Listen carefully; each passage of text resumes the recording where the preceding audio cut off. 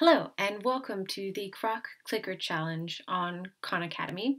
This is part of the HTML JavaScript Making Web Pages Interactive with jQuery course, and I believe we're on the third lesson, DOM events. So we're learning how to finally make web pages interactive with jQuery.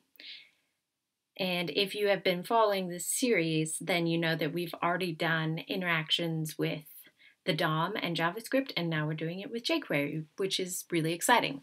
So what are we doing today? It says we're adding a click listener, and then the directions say this web page displays an image with text below that should show the number of times that you've clicked that image. Use jQuery to make it work. Add an event listener for click events on that image that increments the num clicks variable and updates the text. Cool. And Luckily, there's some hint text over here, which is really good because uh, there's a lot, I feel like. Okay, so what's happening already? So we have, um, we want to add an event listener to this image so that when we click it, nothing happens right now, but we want it to update this text right here so that it says you clicked however many times you've clicked. All right, so let's see. We have this um, picture right here. I'm just looking at our HTML just to sort of figure out where I am. And then we have this div right here, and it has an ID of results. All right, let's go ahead and look at our, our JavaScript. We have our script tag, and then we have this num clicks variable, which is currently zero. And then we have this uh, jQuery object, which stores this, uh, this div that has the ID of results. Okay, so this is saying the text of results is you clicked plus this num clicks variable and then plus times. And that is how we have this right here. Okay, this text.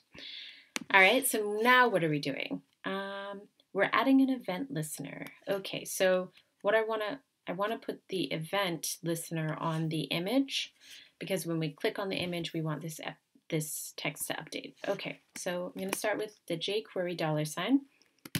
And then let's see what element we want this image element and it has an ID of Crocs. So I'm going to go ID Crocs. Cool. And then I'm going to add this on language, which we learned in the last video adding event listeners with jQuery, we learned that on is the jQuery method of um, events. All right, so we want to tell it what type of event we're looking for. So it's click, and then we want to call a function. All right, cool. So the function that we want, what do we want to, so so here, so we've added this uh, event listener. That's what this line is. And it's saying on click, we're going to do this function. Um, so during this function, we want to update this zero. So I'm going to say num clicks plus equals one so that each time it's going to increase this zero and add one to it. All right.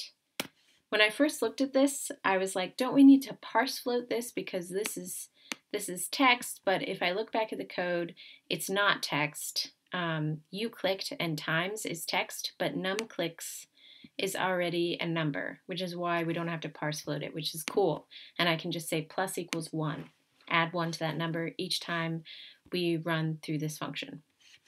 All right, so do, do, do, do, num clicks plus one, uh, and then we want to update this text. So I'm just gonna um, copy and paste this into the function.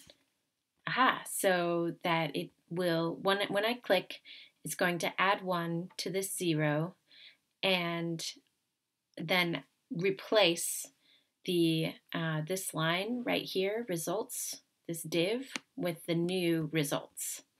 All right, so Hopper has said, way to go, keep moving on. Let's go on to the next step.